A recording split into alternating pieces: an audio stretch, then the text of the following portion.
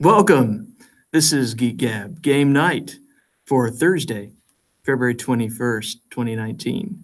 Uh, I'm your host, John, with my co-host, the inimitable Daddy Warpig, as usual. Hey, Daddy Warpig, how you doing? Um, let's just go with great. I'm doing great. Great. That's I'm, what I'm going to tell everybody. I'm going to translate that for you today. He is alive, awake, and online. That's great. Uh, I just checked through those three things, and yes, all of those are still true. Excellent, excellent. Well, please stick around. Uh, we love having you here. It's important for you to be alive, awake, and online for about the next hour. How's that sound? Sure. I think I arranged that with some people. So, All right, we're looking forward to it. Uh, so, you know who we're talking with tonight? are you asking me the question? I'm asking you the question. Oh, because you could ask him the question. That'd be kind of interesting. Hey, I, I could introduce our guest, but let's let him introduce himself. We, uh, you know what? There's a rap tap tapping at my chamber door, so it looks like you're gonna have to do the introductions. I'll be right. Fantastic. We're hanging out talking with uh, with Douglas Cole. I think this is probably his third time on the show. Uh, he's been working really hard. Uh, uh, he came on a couple times for uh, the Dungeon Grappling expansion, which is sort of a, a system agnostic uh, RPG supplement. But but since then, he's been working really hard at expanding the GURPS uh, dungeon D and D setting. Uh, welcome to the show, Douglas Cole. Thanks for having me back again. I always uh, enjoy this. This is good, good stuff. Always keep me on my toes. Yeah, uh, and and you're doing such you're, you're doing interesting and slightly different stuff from what I see coming out from other uh, publishers. So it's really fascinating to get your perspective on on um, the games and the industry as well. So, so what uh, uh, you, you shared you shared on your your blog and you shared with me the introduction to your new book. Uh, so before we actually get to the book, I want to point this out. Apparently, according to uh, the uh, the guys at Steve Jackson Games, you're single-handedly reviving their uh, their dungeon fantasy setting. Is that true? To a certain extent, um, you know, that's certainly what they said. The the the Dungeon Fantasy role playing game was an attempt to take the toolkit that is GURPS and whittle it down as far as you can, um, or as far as they chose to, I should say, uh, to facilitate dungeon crawl, kill monsters, and take your stuff kind of play. Um, GURPS is a toolkit. It's a great toolkit, but it requires upfront work to make sure that the game that you're playing is the one that you want to play. And the Dungeon Fantasy role playing game was an attempt to capture the spirit of old school dungeon crawling, plus some of the roguelike, you know, going around and killing things and taking their stuff and, and you know, getting better and better gear and, and you know, basically your traditional dungeon crawling. Um, but using the the the more tactical engine um, that that is GURPS. And you know, it's a beautiful box set. It sells for I think sixty dollars retail. It was available on Kickstarter for fifty. Uh, it's a 10 inch by 10 inch by 4 inch box. The production values are really good, right? There are five soft cover books in there, some maps, whatever. Uh, but it costs a lot of money to make, I think. Yeah, and and it sounds like it would. And And yeah, such such a low price point for for all the books. it, it really it really is it really is and i think what wound up happening is that while initial sales were good they didn't take off the way that they needed to to recapture the staff time that had been invested in it so they were like you know i we're gonna we're not gonna yank it we're certainly gonna publish it but we're not gonna reprint it. We're not to really double down on this one. Um, and at Gen Con 50 uh, in 2017, I was running for the first time, it hadn't been written yet, Lost Hall of Tyr for fifth edition, um, and it also could be run in Swords and Wizardry. But I was running the adventure that would eventually uh, become that my second Kickstarter uh, to demonstrate the dungeon grappling system. and I was also there to play with Sean Punch, the line editor, uh, who we spoke to. Um, Yeah, we had- right. Yeah, we had, we had Sean Punch on the show last time you were here. Uh, yeah. Um, and he's a he's a great guy. I love him to death. Uh, and I was playing in his game. I paid for that backer level to actually meet him and play with him as the game master. Um, and I said to Steve, "Hey, you know, I got a publishing company now. I've been writing for you since 2002. Um, I would like to talk about doing an adventure for you." And he says, "You know, if this does okay, ask me again." Um, so then I went over to Phil Reed and I said, "Hey, Steve was really positive." He's like, "Phil's like, please God, don't blog about that. We're so not ready to announce anything like that." Um, and, but you know, and, and it was you know natural conservatism, which is good in a businessman. Um, but in any case, It- push I- came to shove, and eventually I said, "Hey, is it time yet? I'd like to do this." And they're like, "You know what? Yes, uh, let's let's do that." I had delivered a couple Kickstarters earlier on time. Uh, my product, I, I had given uh, the staff some copies of Dragon Heresy and Dungeon Grappling, and so they knew that I was not putting together some stick figures. Uh, they they knew that I could put something together and be an effective project Nice manager. proof- You had a nice proof of concept there. Right, exactly. And, and Dragon Heresy was a big project. Um, and, uh, you know, so I was able to send them some PDFs and, and, and Lost Hall had completed. And so I was like, I want to convert Lost Hall, and here it is, to the Dungeon Fantasy role playing game. And I want to do it bigger. Lost Hall was 64 pages. I want to expand it. And it wound up being a 128 page book. Uh, and it did pretty well, right? I mean, it, it you know five six hundred copies got sold, and everyone who's played it and read it is like, wow, this is really good, and and and you know, yay yay me, right? But it was profitable because I had all that art from Lost Hall and Dragon Heresy, uh, so I really only had to pay for uh, editing. I, I was able to learn enough InDesign to do my own layout and, and using a template that I had used. Uh, so I was able to do that pretty much at, at low cost.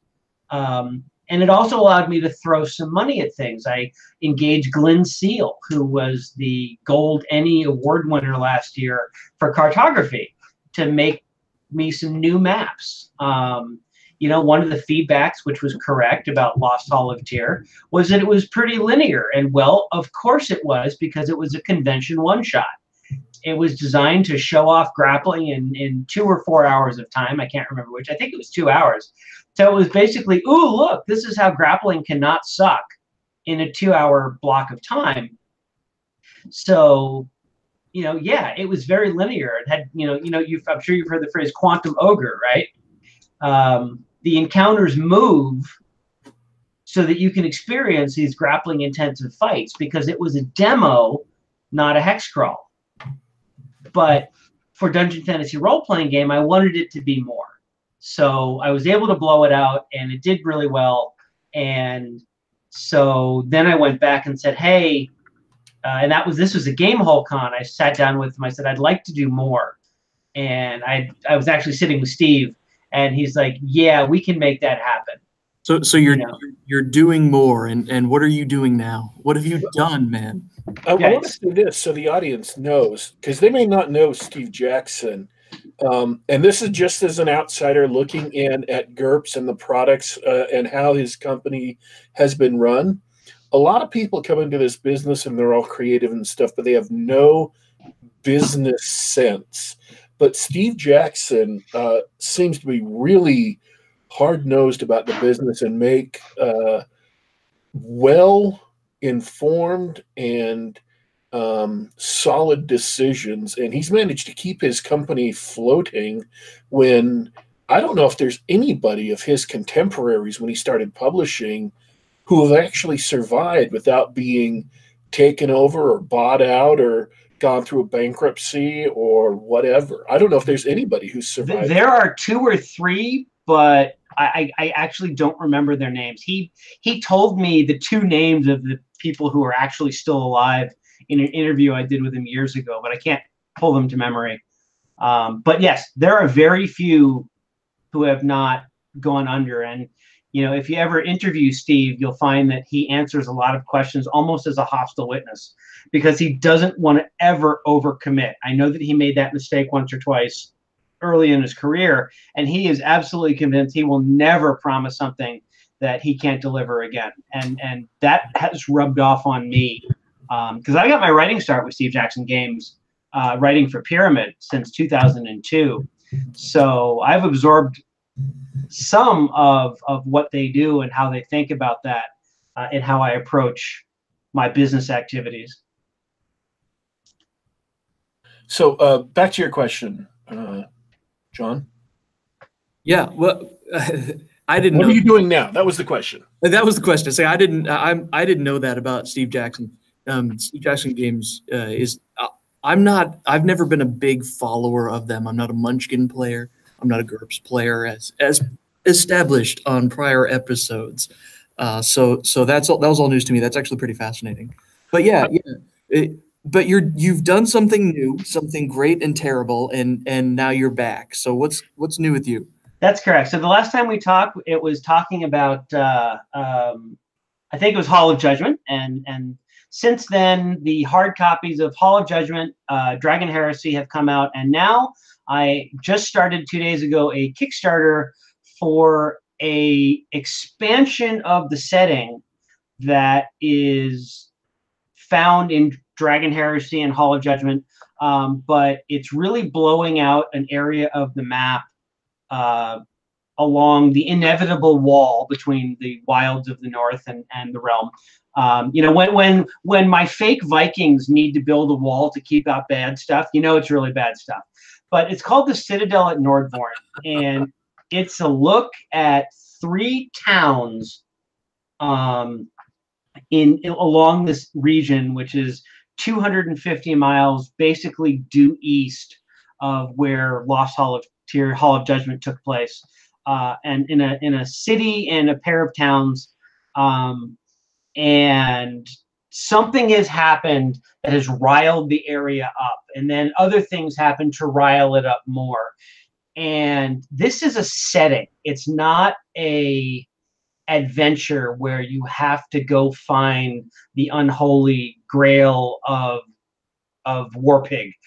It, it's a mesh of interacting threads, and you can't shake a stick in this area without plucking some of those strings. And that's going to make some people want to kill you, and some people want to help you. And, and, and we're putting that in now, right? Uh, is there is there a backer level for adding uh, a new magical artifact, the uh, the evil war pig artifact? You know, I think there needs to be. Um, you know, I, I want to make sure that I can deliver, like we like you said. Uh, well, or we haven't said that yet, but you know, like we were talking, you know, I I, I never launch a Kickstarter until I'm almost done with the writing. Usually, I'm very done. Um, and and for this one, there have been other developments in my publishing career, so to speak, which are very exciting. Um, but I need to make room for them. Steve Jackson Games, when I sat down with them at Gamehole Con, you know, I was like, look, you know, I really want to follow up, and I'm really glad that uh, you let me do this adventure, and I hope that you'll let me do more. And they said, yeah, let's do that. I was like, is there anything that I can do that I'm not already doing? And Steve looks at me and says, do some fantasy trip stuff and I was like, okay, let me take that under advisement because I don't know the fantasy trip. I've never played it. That was not part of my uh, introduction to gaming. Um, you're you're gonna have to me on that. A fantasy trip. The fantasy trip. It was. It started with uh, two small box games, Melee and Wizard, um, and then got built out into a, a larger role playing type game instead of a tactical combat situ- uh, uh, game uh, uh, called In the Labyrinth. And the whole piece, I think it was uh, metagaming back when Steve Jackson Games was working for somebody else. Uh, and it was the whole system was called the Fantasy Trip, TFT. Um, and it is very clearly the genetic ancestor of GURPS. Uh, so when Steve left the fan, uh, left metagaming, I think uh, the rights to what he had developed stayed with that company, so he couldn't use them, and so he developed GURPS as a next step beyond that. Um, but you can very clearly see it in the DNA. But it's a very simple, you know, your your character. It's a it's an old school system, uh, melee and wizard. Uh, there's only a couple attributes. Uh, your characters easily exist on a three by five card. Um, and, and, it's a fairly realistic combat crawl that was designed uh, in as somewhat a reaction to things that Steve, who had experience with the SCA, didn't much like about how D and D combat worked. Um, and so he wrote a game, and then he wrote more games, and then he wrote GURPS. Um, but anyway, the fantasy trip was kickstarted as, oh, let's bring this back a little bit, um, and it just went crazy. Uh, I can see. I just brought up the page. They uh, they look like they're trying to fulfill orders right now. And, that's correct. And, and the Kickstarter ended where they got over three thousand backers and over three hundred thousand dollars to bring. That's correct. That's correct. And the, this box set is even bigger. I've seen it. I've seen the, the mock-up box. It's even bigger than the 10 by 10 by 4 Dungeon Fantasy role-playing game box and they've learned so much about running tight kickstarters since the ogre problem and then with the dungeon fantasy role-playing game they've learned so much about that that it was a really tightly run kickstarter everything was planned in advance and they they weren't like oh we'll add a stretch goal well they did add lots of stretch goals but all of them were planned in advance you can tell you can tell they always knew what was coming next and as they knocked him down, uh, they were like, and we've got three more at, that could come up if you do well. And hey, look, there's more. That's something that I'm not ready to do yet because it's just me. I don't have a staff. Uh, and some of the things that they can do with dice and miniatures and stuff like that. Um, oh, sure. Yeah. Because they've got yeah. a game production company, including all their suppliers that they can work with. Right. That is, and, and, something that sinks so many Kickstarters is creators getting far more money than they thought they were, and then they start making up uh, stretch goals on the fly. Correct. And even people who price it out and think that they're doing something that's still going to be profitable, that they can produce something new that's cool and it'll still be profitable. When you're doing something, you're planning something for a couple of months, you have a lot of time to look at additional options or to you know if once if you find a new supplier who will cut their you know costs or if there's just too much trouble with this product you you don't produce it at all but if you're doing it on the fly during a kickstarter you don't have the time to research it out to get you know all your ducks in a row financially and you're spending all your time on your kickstarter and so you don't have you know you have just like seconds a day to spend on everything else. Yeah, I, I, agree completely. And the other thing that I think most people don't always wrap their arms around is uh, if you're going to do it affordably, a lot of times you're doing it overseas, and the shipping to bring things that are not books across customs borders uh, can be ruinous sending books out of the US to the rest of the world. You know, like Dragon Heresy is is 3.1 pounds. Um, you know, nice stout hardback, 288 pages, good paper, blah blah blah. Uh, for me to ship a copy of Dragon Heresy to England from the U.S. is like 50 to it's like 50 bucks. The book itself is 50 bucks. Um, if I would go into stamps.com, I could get an exact price, but it's not that important. Um, uh, who was it? That, oh, uh, Frog God. Frog God Games just ran into this because people were complaining about having to pay like $70 shipping for a $50 book or $100 shipping for a $70 book. It was costing people more in shipping than the pledge because of the way it works. Now, I believe that I have cracked that. I'm I think I'm one of the few, but in a way it's because I'm small that I can get away with that. Um, and we can go into that later if you want. But in any case, Steve says to me, write the fantasy trip. And I say, let me think about it. And then I watch a few other things happen and I go to a couple friends of mine and I'm like, hey, you guys are already writing adventures for the fantasy trip, aren't you? And they're like, yes. I'm like, how would you like to write some for me? Actually, one person came to me and said, I've got more adventures that I can write than I think SJG is ready to publish. Do you think that you'd be interested in doing this? And so I said, Hey, remember at Game Gamehole, you guys said, Do you want to do this? I said, I've got a couple authors who I think would do it. And this was right after Pyramid Magazine got canceled. And there were authors who Oh, used Pyramid to eat, frankly. Um, and so it was one of those things where I'm like, you know, we've got something here. And I did the math, and I, because I always do the math. And I'm like, you know, I think we can do this. And Phil's like, send me a real proposal. And so I sent him a real proposal, uh, you know, with numbers and pitches. And this is what I'm going to do. And here's how I'm going to try and fund it. And they came back and they said, yeah, we'll just use the same contract that we used for Dungeon Fantasy. And as long as you continue to produce good stuff, crunch all you want. So uh, in the next 12 months, I should be releasing no fewer than 10 16 page adventures for the fantasy trip. Oh, that's great. So not only do I have three, including the one I'm kickstarting now, Dungeon Fantasy role playing game licenses from from uh, Phil and Steve and Steve Jackson Games, I have a minimum of ten pre-approved 16 pagers um, that are two of them are actually within a week of being done um, from, by the authors. I'm not writing those. I'm, I'm project manager on those, and, and that's a role that I love. Well, Um, well uh, for if, to poke fun, that of course you're not writing them because they're only coming in at 16 pages. Oh God! But you know the funny thing about that is, yeah, I do like to write, um, and I like to be wordy, and, and then I cut it down, and then I write and whatever. But I'll tell you what, that 16 page uh, page count, uh, the 16 pages, is the perfect size if you want to be uh, a good going concern. I probably shouldn't have said that out loud but it, it's a single 16 page signature, which means if it's offset print, you get maximum efficiency.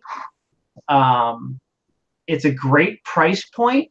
A well produced 16 pager is going to sell for about 10 bucks, um, maybe as much as 12, but, I, but I'm not going to do that, right?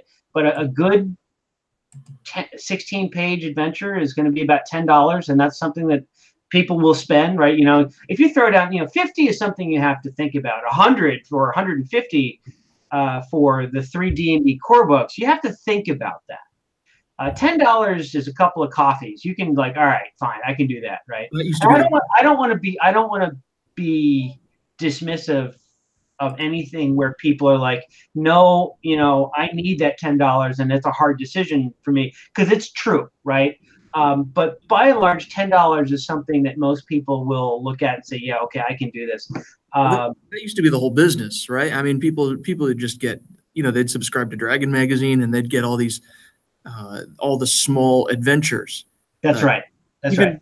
even as recently as uh, the original uh, Pathfinder, the first edition of Pathfinder, Pi- Paizo started as an adventure printing company. You know, and and sixteen pages is about eight thousand words. It can, I mean, you can be more than that, but you know, sixteen pages, at least for me, is eight thousand to eighty five hundred words, and that's enough to develop. That's a that's a solid. That's a solid little bit, especially in a system like the Fantasy Trip, which doesn't have uh, fifth edition or GURPS's one page per monster stat block. Right, so when you've got a BX or an ACKS or uh, or Swords and Wizardry or the Fantasy Trip, which is just something that you can write down the needed stats for a monster in a little like you know one inch by two inch box, you don't need a ton of room to have a really cool adventure. So, you know, you wind up with a couple of maps, uh, a couple of pieces of art, uh, and a lot of adventure that goes on, and it's something that you can play through. And you know, I it it- it really looks like. I'll tell you what. The next year is going to decide whether Gaming Ballistic is a real publishing company, or if it's Just a hobby. Or if it's my hobby. And well, uh, you're you're do. I mean, you are running the numbers, and you're actually trying to make it a business. So, I am. So so that you you've got that over every one of us who's just you know a lot of gamers are writing their own thing or making their own system or something like that and and often it's a labor of love or or or a, or a hobby or something like that right and and, and you know and i'm a phd r&d engineer right i mean for me to replace my day job means that i have to be one of the one of the most successful independent publishers out there because i don't do poorly um, right? But for me to say, you know, I'm just gonna, you know, the old joke is if you want to make a small fortune in game publishing, start with a much larger fortune and work down. and and obvious and it's and you know there's a lot of truth to it right i mean i i was profitable in 2018 and i have a blog post where for anyone who cares i i, I break down uh all of my my successes and failures uh, financially with numbers, right? So I don't hide what it is, but you know, if I were to try and live on my 2018 profits, it's eight thousand dollars or seven thousand dollars for the entire year. And, and uh, I, I, gotta admit that, and you you have all that blog, all that blog on gaming ballistic, right? I do. And and and those are the blog posts that I sort of I pay more attention to when you're actually doing the business stuff. And oh, that's how that breaks down. It's sort of it's sort of interesting to not just talk about whatever cool monsters and magical items that you're doing. It, yeah, you know, and and I have no problem talking about. It. Although usually when I'm doing something that really uh, sparks my fancy, and at least in terms of my fun posts, it, it tends to be firearms and stuff. Um, and, and one day gaming ballistic will publish something that has to do with guns it's not all going to be swords and spells um, i even have a couple of ideas um, but uh, and, and a finally a long delayed product that uh, has been kind of waiting in the wings maybe coming up close to uh, to to being ready in the next year as well so there might even be a full game again not written by me um, that uh, that might appear on the scene depending on on how things are going. Um, but uh, in any case, I thought um, your post about bows and arrows was just a trip. I loved it. uh, which one was that? Uh, where you referenced your article in in Pyramid. Oh yeah, yeah. That was uh, that was an interesting article. It started with there was a play test that I was on, the GURPS Low Tech play test, where I was really not happy with the way that bows were being presented. I'm like, I think we can do better. And I was like, you know, I did guns in 2,500 words. Surely bows would be easier. And it turns out it's really hard. Um, and so 11,000 words later, uh, and, and, it got me another mention in TV tropes, and because my nasty transcendental equation table um, because it turns out that when you're bending a bow, the math gets really hard. Um, yeah.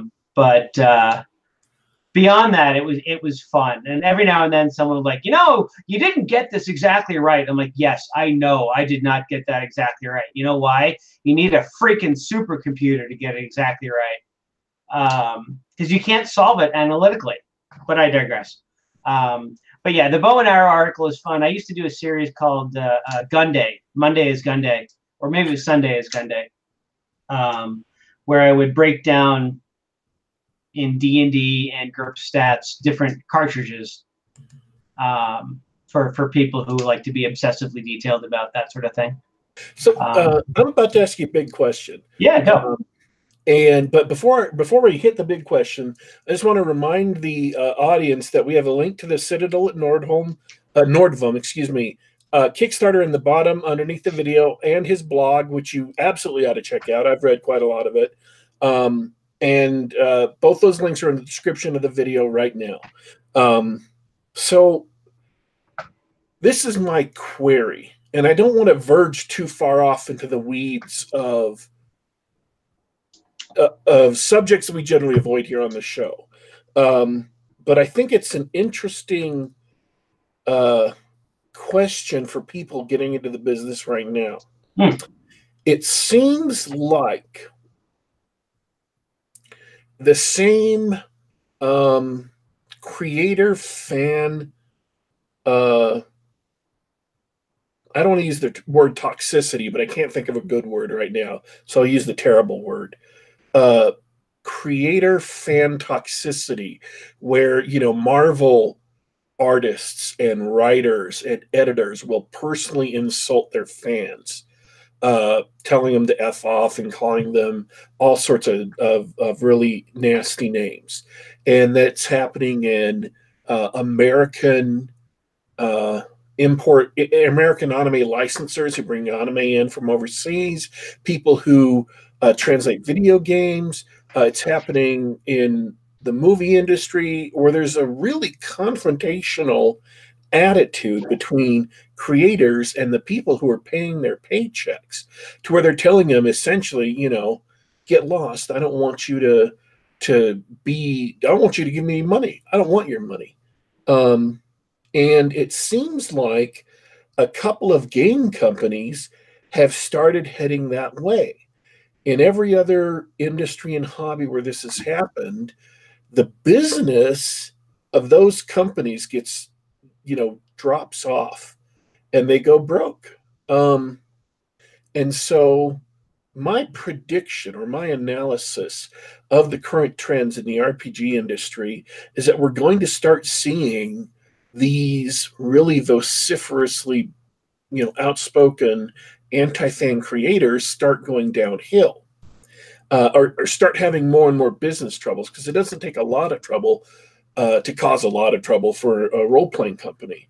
Um, and i'm just wondering i don't know if you agree with my analysis or not or if you agree with my premise or not or if you agree with the facts that i, I uh, perceive or not but it seems to me like that might be an opportunity for fan-friendly hard-working indies to get a larger share of the market because people will like them and buy their stuff or they won't buy stuff from bigger companies anymore. They've just been insulted too much.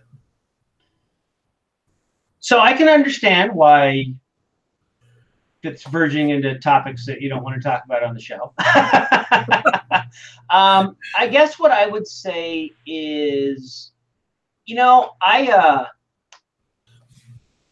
I am happy to work side by side and play games with anybody. Um, I'm trying to write what I enjoy and expose people to areas of culture that I am learning and, and historical medieval uh, uh, culture and methods of thinking about the world you know plus killing things and taking their stuff because it is a game steeped in that although you can do more clearly you can do more. Um, i i the you know, I'm a really small publisher. The most copies of anything that I've sold is around 600. Um, I think that's about what I did for Dungeon Grappling. It's probably what GURPS Martial Arts Technical Grappling sold, and it's about what. Uh, oh, I am. I am. Sorry, I am thirty six dollars away from halfway to my goal. Uh, awesome. some, some, somebody just made a, a, a nice hefty pledge. Um, but in any case, um, you know, I from a strictly pragmatic standpoint, um, I right. can't afford to insult anybody. From a personal standpoint, I don't want to. You know, I I I don't I I am a flawed, struggling, some gifted, some problems like every other human on this planet. And I don't have a leg to stand on. I'm not going to tell anybody that you know they're playing elf games wrong. Um and that's just not where i am you know? It's a big world and we can all do our thing. And i, I just really hope that people will see what i do and, and like it um and gain some of the passion. And, and where where i like the the viking stuff you know i was not like a rah rah Nordic guy. I mean, my mom's last name is Cohen, right? I'm not. I'm not. someone who's got this immense Teutonic ancestry, um, despite my mother's opinion of my new haircut. Um, I, I, uh, I, you know, I went to learn about how to use a shield and found out that how people make artifacts with a thousand AD or 700 AD technology is really interesting, right? I'm a material science PhD. So I do high volume electronics manufacturing. I'm a process guy. Um, you know, I understand about 6061 T6 and, uh, you know, Ti 1311 alloys and, you know, that kind of vacuum forming and ballistics and penetration and, and, you know, uh, surface science and blah blah blah material stuff. It's awesome. You should major in it. Go to Rice um, or Northwestern. Um, there's my pitch uh, for my alma maters. But uh, right, so that's the stuff. But when you sit down and the way that you make a shield, uh, and I do make these Viking shields, and I'm getting better at it every day. But if you need to make a shield, and your first step is to go out and cut down a damn tree with an axe, and by the way, they didn't have a sawmill so you have to use wedges to split it and then use more axes to rive it into planks. Uh, and then you have to boil an animal to get glue or mix vinegar with milk to make uh, casein glue, uh, milk glue. And you do all this stuff and you skin animals and you have this thing that you can hit with a two handed axe. And it's only like eight, nine millimeters thick, but it'll take it it's amazing. Thegn Thrand and his YouTube channel does this amazing test where he's replicated one of the Gokstad shields and he beats the hell out of this thing with a two-handed Dane axe and it takes it. And this is a seven pound shield. It's light. And our ancestors weren't stupid. And that's one of the things that I really am trying to convey in this Viking-ish Norse-inspired setting is is the sense of culture and the sense of different beliefs and honor that they would have and how clever they were. Plus throw fireballs because why not? Um, but that's just kind of what i'm trying to get across and and and there's some of that in what i'm doing and it makes it really fun for me. And so i hope people pick up on the fun to get there. My, I, guess, I guess that's my answer to the question is that you know I, I think that I've failed enough in my life because of my own failings. I don't need to find problems with other people and make fun or yell or curse them or whatever. Kind of my my thesis is that this is a fourth edition Paizo moment for other players in the industry now. In that fourth edition came out, ticked off a lot of D and D fans, and Paizo basically ran third edition scooped a large part of them up uh, and then there are others who fled to the OSR and things like that. But they made their bones on uh, Wizards of the Coast's screw ups, and now it looks like a, a, several large players are about to piss off their fan bases for different reasons. And I, am seeing kind of a, a market opportunity, I guess, uh, to move in and try to get pick up some of those fans. You know, I, I, guess I am always happy to have people buy my stuff. Um, I, I think consciously making that play is going to anger as many people as it picks up. So it, it's it's I, I, I that's not something you know I, I I really don't feel like bringing the culture wars to my living room. I just don't. I don't need to, and I don't think that, that my friends who come from all sides of the political spectrum want me to. And you know, I'm happy to have great conversations with all sorts of folks. And you know, it, it, there may be, you know, from so I would separate that side of thing from I think what happened with fourth edition, which kind of got back to D and D's wargaming roots a little more than than people liked. Uh, and Paizo was there to pick up the ball and run with it. Um, you know, I think that for people who like Pathfinder and 3.5, uh, I played the Pathfinder 2.0 playtest at Gamehole and I liked it. Uh, there were some really clever things there that um, uh, I thought that they did well. Um, you know, I, I think that some of what they're doing you can find in Dragon Heresy, and it would be awfully fun if 0.001% of those people would buy that book. Because uh, yeah. for me, right, I mean, it's funny. Um, for me to make a living, like a real honest to God publisher living off of Dragon Heresy only, which is a terrible business plan, but let's pretend, yeah, I would probably need to sell three or four, maybe far, yeah, maybe three to 5,000 books a year, which is probably a partial print run for any of these big dogs. Right. I mean, the, the, the number of copies for me just being me to sell to change my life radically uh, is so far different than these big companies, right? Um, so you know, if there's some people who are like, oh well, you know, I want some more deadly combat, or I like fifth edition, but I hate the short rest, or you know, I'm a big fan of shields, and shields aren't good in any system. Although I'll I'll admit that Pathfinder 2.0 and the Dragon Heresy both you can do really cool things with shields. Um, but you know, if, if some of those people want to pick up my book, you know, it's in stores. Um, and that's actually from from a business perspective. If I can step sideways, one of the challenging things that I'm uh, um, uh, seeing is that one of the things that I need to do is figure out how to get my name in front of retailers. Yeah. Um, because that's that's it's it's you need to sell a lot more copies because you know selling into distribution is is definitely not direct retail and it's really not direct to customer but you know, if you can get somebody saying, "Oh, gee, you know," I mean, God, if Target or Barnes and Noble said, "You know, I'd really like to have one of these in my stores," you know, you're doing a print run just for them. Um, and that kind of that kind of volume, boy, that that would make it so that I. Uh, could do a lot more pre-work before I go to market with the Kickstarter. I like being done, right? When I launch my Kickstarter, I like being, oh, here's the art and here's some layout. Here's this. I have some of that for Nordvorn, but not as much as I prefer. Um, and boy, if with a, a little bit more uh,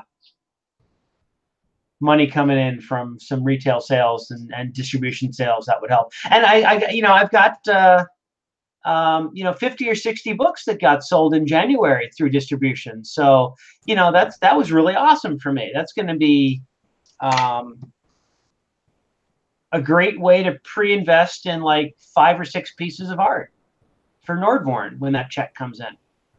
That's awesome. That's yeah, awesome. You know. Did, so, did we want to jump into your thing, John? Uh, well, just really quick, I wanted to respond to to what you were saying, Daddy Warpig. I think uh, I, I, don't think the opportunity is going to be that big. May I, I, may I, may be taking a leap here, but I'm going to go on record saying that I think, uh, obviously, the elephant in the room is Wizards of the Coast and Hasbro, with the Dungeons and Dragons brand. Uh, I think I think what they're doing is going to work.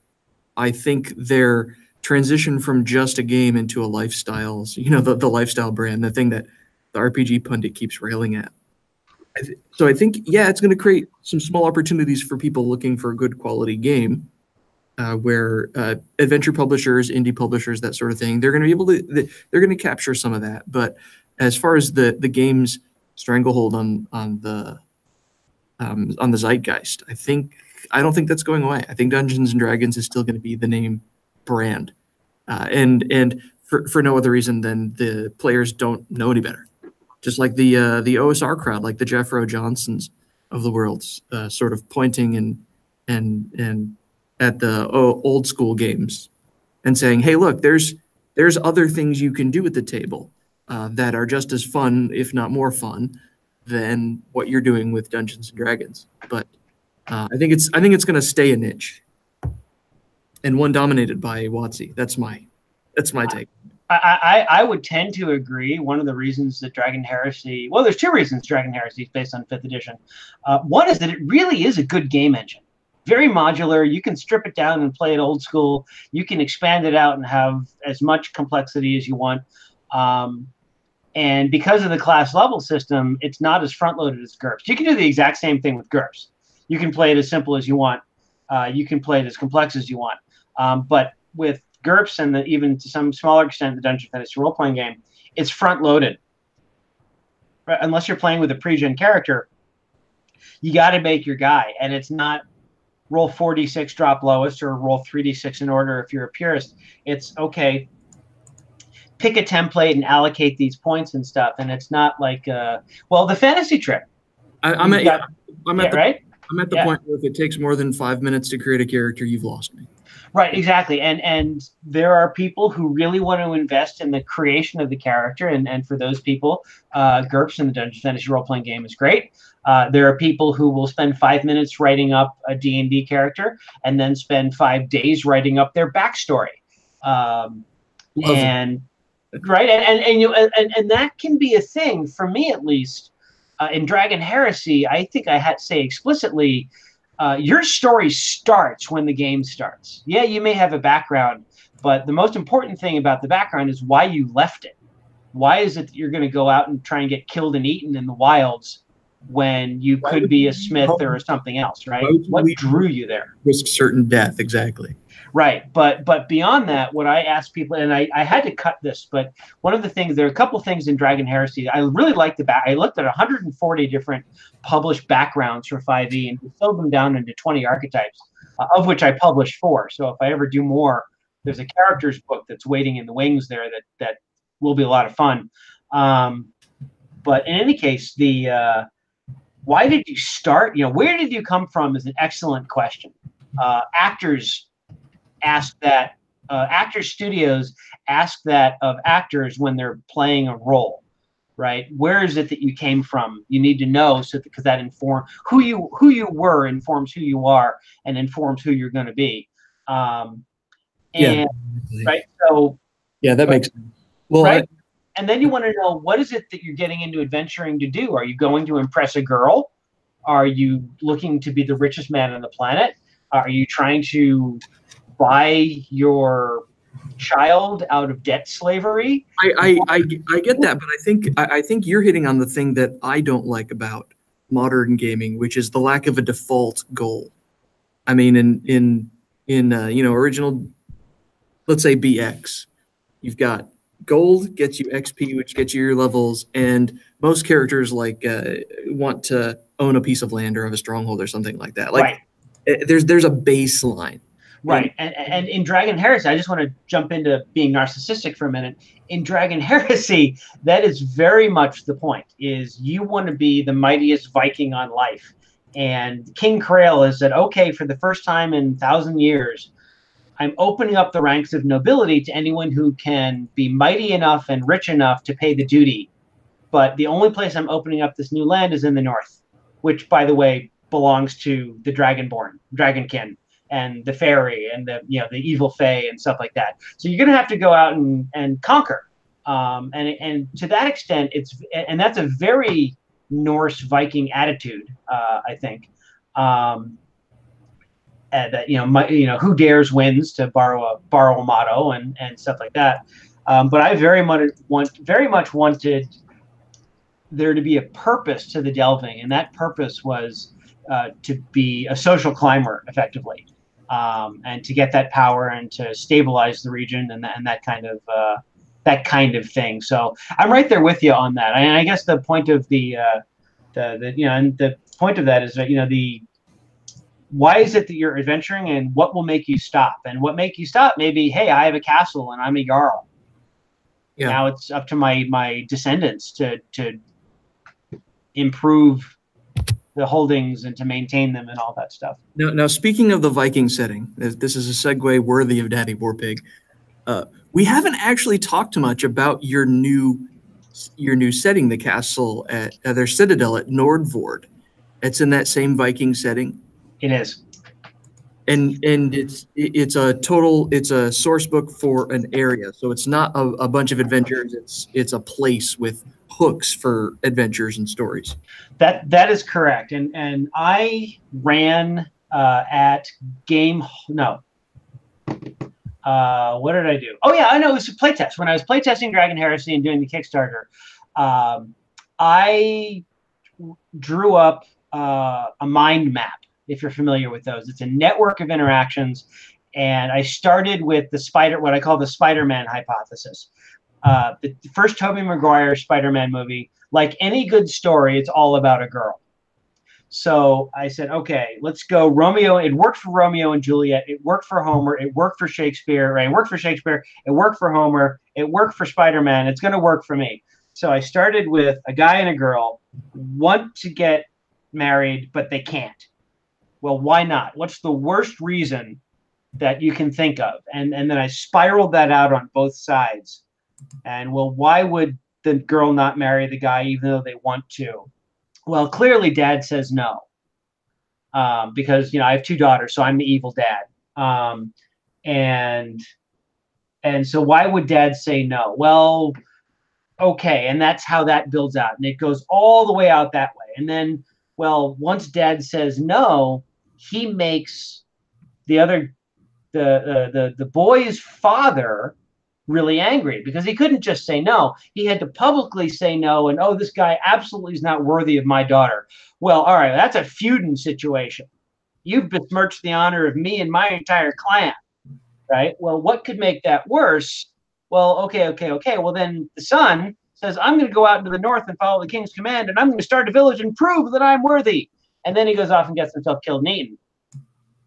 And and so you've got this and then there's spider web cracks from all of that. Well, why did that happen? What made this happen? Let's throw in a little spicy sex in there, um, and you know, because not only is the yard, you know, because not only did the son die, but the mom was visiting, and so the father is grief stricken, and so he's vulnerable. And so, what can happen there? Well, that's an opportunity for political maneuvering. And so, there's all this stuff. And when I ran it, when I ran the game with just that relationship map, I played for four or five hours with nothing prepared and I didn't need it prepared. Because the players were plucking these strings, and you're like, oh, well, you're plucking this string. So that means these guys are going to try and kill you. Now you're plucking this string. So that means this person's going to try and help you. Right? Well, what's going to happen there? Well, now there's going to be a fight. Well, that screws up the trade lines. Right? So that's great. Yeah, that's classic. Like in a dungeon, you you make sure that if you if it's a large dungeon, you have multiple factions. That's right. And there are no fewer than four factions, and even within any one faction. Like, let me bring up. Uh, uh, how are we doing on time here? We got about what eight minutes. Yeah, we're, we're about out of time. We'll go a little bit over because I wanted to talk, ask you guys like a, a hypothetical dungeon master question. Right, right, right, right. So let me. Uh, where is it? Uh, no, no, Citadel trial. There we go. But, but um, this this is your Kickstarter. Say what you say what you need to. Yeah. So so if I go down to the town of Einferel, which means Riverbend, um, there's the Jarl, and he's struggling. Uh, he's the Jarl is the the son, the dead son's dad, and the Jarl has uh, Hera. A Hera is like a lower noble. Um, you've got Riddars, which are like knights. You've got Heras, which are like the owner of or the the manager of several towns Jarls, which are, you know, five to seven Heras, and then High Jarls, High Jarl, High Lords, which are like cities, right? And they've got all these resources. And all of this is based on real world farming and productivity numbers and a hefty uh, dose of Alex Macris's Adventure Conqueror King, because he did all the work, right? If you want to build a self consistent world, go to ACKS because it's awesome. Um, so combination of real world numbers that reinforce the work that Alex did as well. Um, so I've got this town, and here's a here's a high who's got a bunch of mining villages, and she has interests. And here's a guy who's a a a, a, a ranch a, a, shepherd, right? He's a, a grazing guy, but he's really tough as nails. And he's a raider. He raids and kills things, and and it's almost a state of open war. And when the political grip in that town starts to break down, bad things start to happen. And everyone is has their own self-interest. And one of the things I'm doing literally right now is, is the writing that I'm doing is how are what are each of these people's strategic goals? What will they do as these different strings are pulled? And every faction has a write-up about what it is they're trying to do. Um, what are their strategic goals? What are the strategic weaknesses? And I'm actually using uh, a framework by General McChrystal. The McChrystal Group has a, a business framework uh, you know, uh, goals, methods, and motivations. What are you willing? You know, strategy is what it is that you need. Tactics are how you get it. And so I'm trying to use that framework to make sure that each of these factions is, is something that the game master can improvise. Right. As, as, as the players muck it up. As, as long as they know sort of the lay of the land, who controls what, and, and what resources they can bring to bear.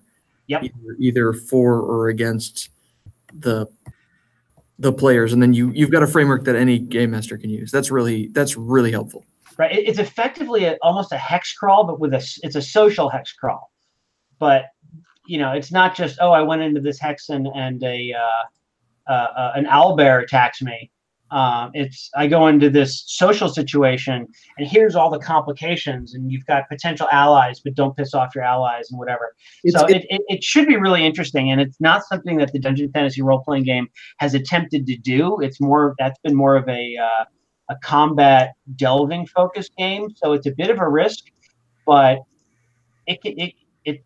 So I, I'm, I'm hearing I'm hearing a lot of interesting stuff about what happens when the players begin interacting with the system. But uh, what are you doing to get the players? Is there anything there that the player characters want? Is there, uh, you know, if I'm going to drop this into my game, uh, this this citadel into my game, is there are there treasures to be found? Are there uh, so there's definitely stuff. There's basically going to be a whole bunch of stuff north of the wall, so to speak, because you got to go north of the wall um, to to do. There's the the whole region north of there is one giant treasure trove, right? It, it's where the former Dragon Empire was because you have to have a Dragon Empire. Uh, but that empire collapsed for reasons that we won't go into. Uh, but there's magic items and treasure, and the wealth of nations left stagnant. And so there is definitely a reason to pass through that area. And the the, uh, the well, that makes it. I, I mean, not. Uh, I'm challenging you because it, because it sounds like this is an excellent headquarters. If all the treasures outside of the walls, what? Why are the? Uh, why would why would I need to interact with the module at all? Uh, well, because you have to get through the wall for one thing. So you're going to have to pass through either Nordvorn or Longbrew to, to get through the wall, um, and because that's where the gates are. Um, and if you want to equip yourself for survival, you're going to have to do the shopping trip, and that's again Longbrew or uh, Longbrew means Longbridge. So you're either at the Longbridge or Northwatch to uh, to do that.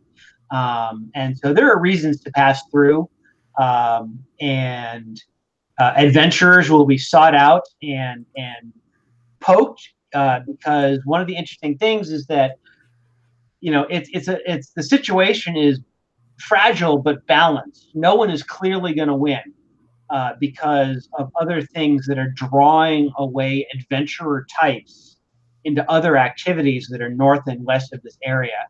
So as free agents come in, they're going to be approached with job op- opportunities.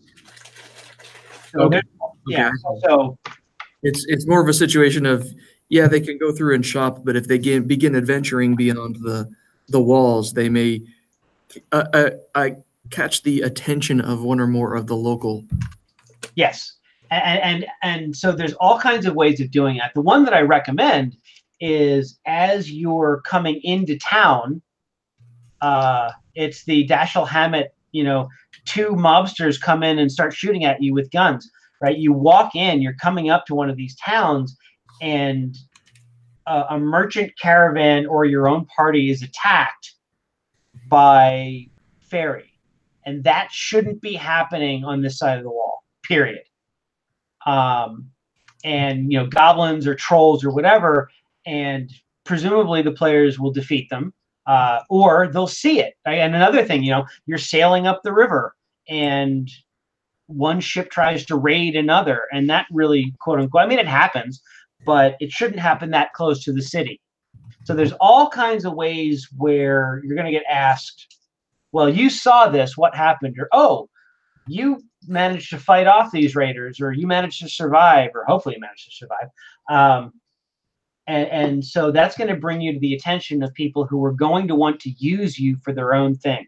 That could be a right, you know, if if a if a fort, you know, if if if the Lord our God comes and says, "Hey, we want to use you for a holy cause," and you say yes, then well, you're fighting on the side of light and goodness, right? If if but there's also going to be people who say, "Oh, these are dangerous people. We want them on our side to not maintain the order of things."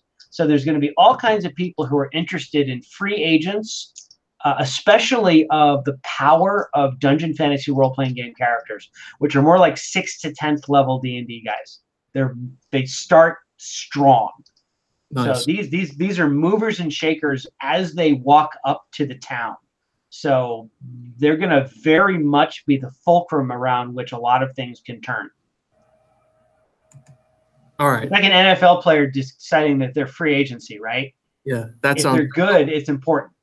Uh, th- This is yeah. This is meant for people who have leveled up and and they want to make a name for themselves and and and actually take some power for themselves. That's great. That's great.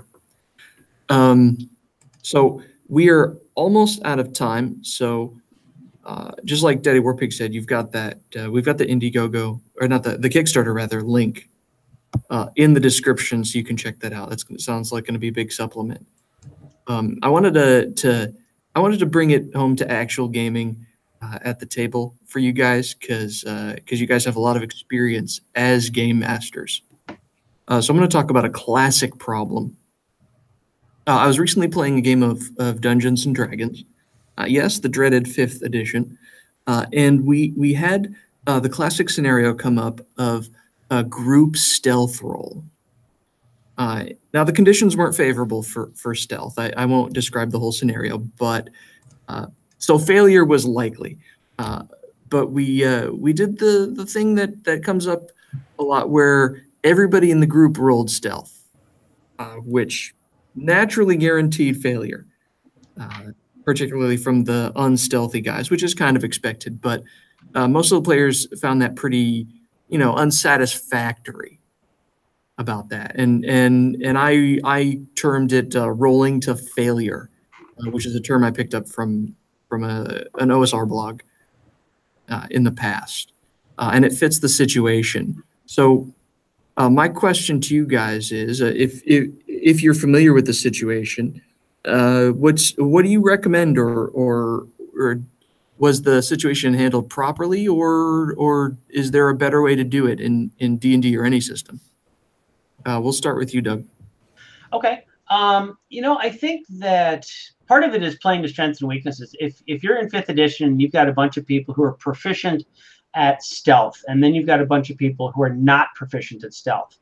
Uh, the players have a choice. They have an agency enabling decision, if you must say it that way. Um, either they're going to try and make the entire party stealthy, in which case, yeah, either the lowest stealth roll rolls, or they all do, and they say who's, you know, you see who steps on the branch, uh, or they say stealthy people go forward, non-stealthy people wait till contact is made. And, and so there, there's a decision there that was made to say, well, the, the non-stealthy people are going to sneak. Uh, if it's inevitable, then well, yeah, you know, I mean, moving moving in the wilderness is hard.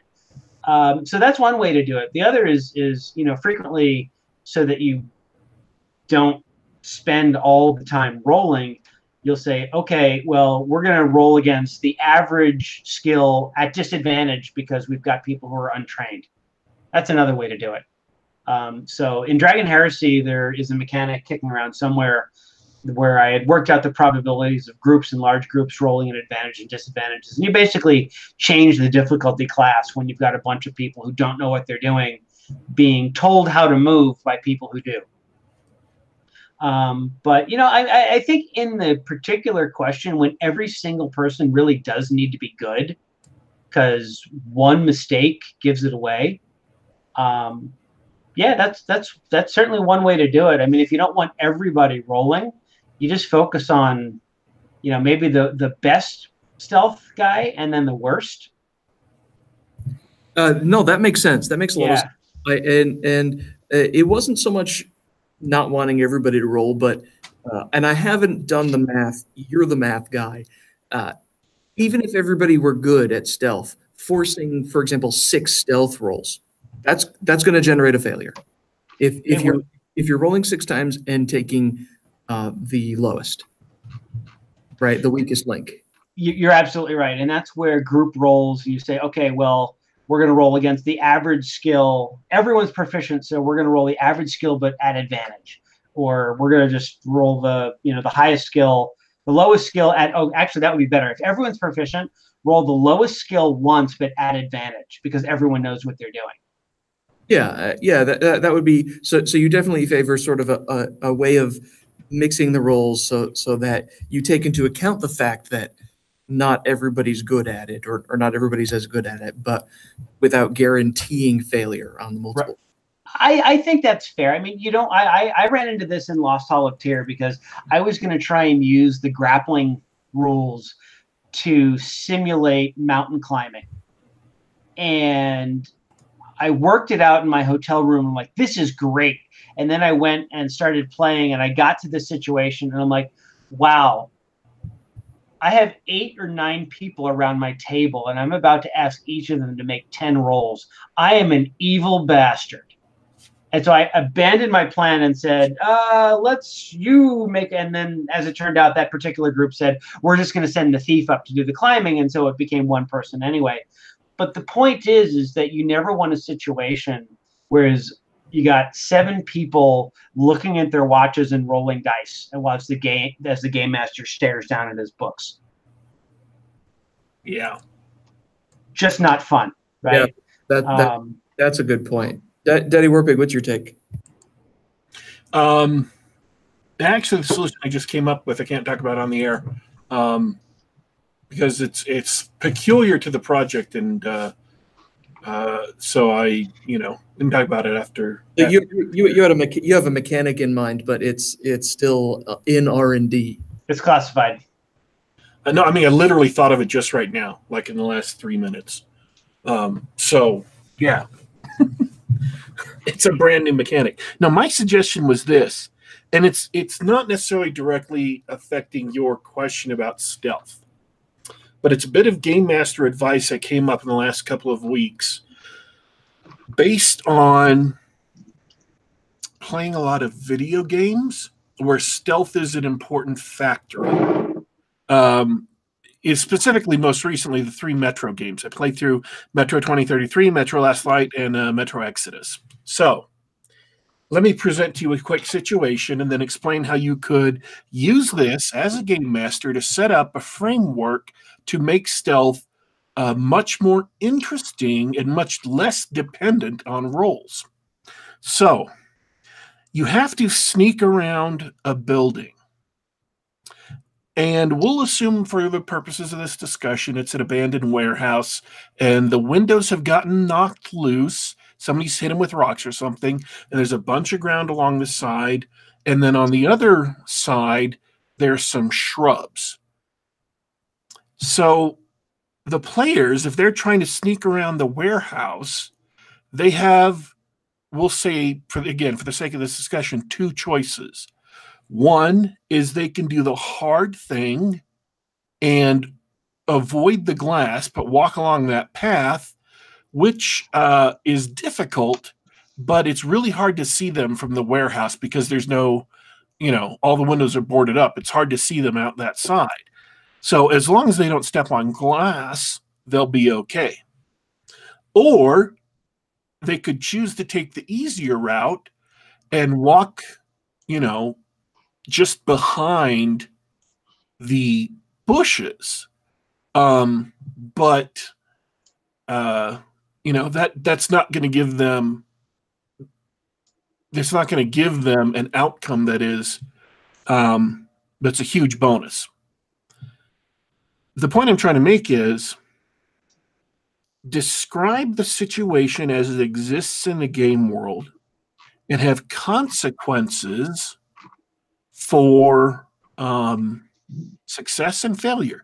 For example, the shrubs might make things easier for newbies, but not provide a lot of bonuses to really experienced people. Um, and, and, so what I'm saying is you could switch up these bonuses all the time so that they offer different uh, different incentives. Incentives, exactly. Different benefits for success, different uh, difficulties for failure. So you describe the world you base the incentives on what you described, and then you let the players make the choice. You know, don't tell them the incentives necessarily, just keep those to yourself, but you let the players make the choice based on the world, and then you can tell them, inform them, okay, well, as a game master, the way I see it is this part, it's harder to see you, so the guards don't get a roll perception, but you know, if you fail, you're going to make a lot of noise. This other part, um, the guards will get to roll perception, but it's a lot easier because you have a lot more cover, especially from onlookers. Okay. You describe the world in concrete terms. You assign bonuses and penalties to the options that you're giving the player, and then you allow the players to make a decision based on the realities of the world. So it moves stealth from a realm of sheer dice rules into a realm of assessing the environment and making choices based on that environment. And your player characters may surprise you. They may be they may say but wait a minute. Um, what about that ladder there? Is it really hmm. rusty? And for the sake of discussion you'll say well no actually they just put it up. It's brand new because they put it up to board over the windows. And they'll say okay so that ladder isn't rusty. Therefore there's no there's not a good chance it'll squeak right? And and you as game master say no you're right. And they say okay well we want to take that ladder and do something creative with it. Okay so your players are thinking about the game world in terms of what uh, its description and actuality and objects are like that means they're engaged in your game world and it seems more real and more visceral to them they're not thinking in terms of numbers they're thinking in terms of movement and what order they go in and things like that. So all of that combines to make it a role playing opportunity, to make it a tactical opportunity to choose the right tactical move to sneak around or into this building, which again will engage more of their mind, get them more thinking about the game, and it's just more interesting. I hate, I hate, I hate, I hate game masters who say, okay, we've got to do X, Y, and Z, roll stealth. Or when you say, okay, we want to get across there, and all they say is roll stealth, roll stealth, roll stealth, roll stealth. No, no, never, never, never, never, never, never, never. Describe the player, describe the situation, give the players an in game choice, consequences for that choice and your players will engage with the game world rather than the game mechanics. The game will be more entertaining. It isn't complicated. You don't have to write a novel. You can just say, you know, the uh, trees are really, th- the, the, branches of the trees are really thick here, and there is a, just a tiny little bit of moonlight that comes through them, and it's very dark underneath them. And on the other side, there's a bunch of glass around, and the windows are boarded over, uh, and you can see you know, and maybe you toss it in just off the top of your head. You can see the glint of a ladder up against the warehouse. Okay. I, I love it. And and I I think you mentioned something like this earlier when talking about incentives and, and advantages and things. You're, you're not saying keep the game mechanics out of it. You can still say something like, uh, you'll probably have advantage going on this route, but on this other route, uh, you might, you know, you might eh, decrease your risk of getting shot or something like that. Or, or, or if you do fail, you'll get a second chance. Right. Okay. So, so you're not saying hide the game mechanics. You're just saying uh, make it about that game world that they want to interact with first. Right. Right. And and, and I think so. I, I I really really agree um, with a lot of what you said. Um, and the the key to me, I think, is that the the dice are there to resolve uncertainty that cannot be resolved any other way. I'm going to swing my sword at this creature. Well, you know, there's a reason why they say if you know, oh, if you sneak up on somebody and they're sleeping, you don't roll to. Well, some people roll to hit. I don't. I wouldn't say roll to hit. I might say roll damage to see if you lock their head off in one blow or not. Um, but the dice are there to resolve uncertainty at as almost as a last resort, but to to to make it so that you can't just know exactly what's going to happen. It's not deterministic, but they're not there to provide a substitute for interesting play. They're, they're there to make the play that's interesting uncertain so that there's risk reward, right? So saying, yeah, I mean, having the, the route is a great example. I go left and I have to make an easy stealth roll, but then it makes the combat more challenging. I go right and the stealth roll is harder, but the combat might go you start basically from behind. You get a, a free shot or a surprise round or something, right? And then you get into something where everyone's action matters in a second by second. But you know, you don't need to belabor the point. And and I think that anytime that you're effectively metagaming, you're playing the mechanics of the game, not the situation, then you run the risk of uh, alienating is the wrong word, but there's going to be people who are bored with that. Yes. And you really want everyone. The best game is when you got six or seven people, or four, you know, three to seven people leaning forward and they can't wait to see what's happening next. But if someone's like, oh, I need to make 32 dice rolls, anywhere between, what did I just say? Anywhere between three and seven people, anywhere between two and six people are going to be sitting back and saying, oh my God. And you know, especially on online games, even the person doing the dice rolling is going to be surfing on in the second window. Yeah, and don't play online. I, can't, um, I can't do it. For for the Secret Project, it's as I've said before, it's stories and a role playing game um, that share a game world. For the role playing game, my entire approach to my game master advice the approach that I want to teach game masters and then I'm developing as I develop the game. Because it's not an approach, and I'm not saying it isn't taught anywhere else. It's not at all an approach that I've seen taught to game masters in the games I've played. My entire approach is to encourage the game master first and foremost to describe the world, allow players to make choices based on what they see, or sense or think about the world and then describe to them the results of their actions after they did the dice rolling. The dice rolling only comes in at step three, and after step three, we're back to description again. So the dice rolling, and I'm not one of those anti dice rolling zealots. You roll when you need it, you don't roll when you don't.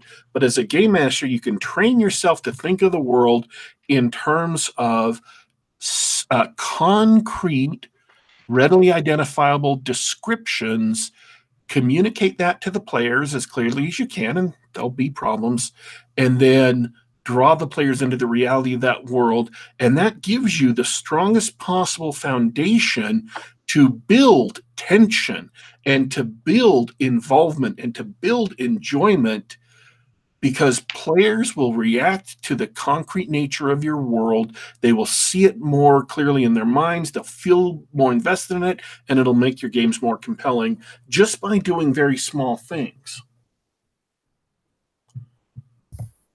And and I was just about to say, uh, if if you take the opposite attitude, the the that Douglas Cole described about just rolls, rolls, rolls, you end up doing what uh, what Bradford Walker always calls mech piloting. You're just like, I, I, this is how I interact with the world. I interact with the world with this menu of skills, and I, I just push this button and I roll these dice.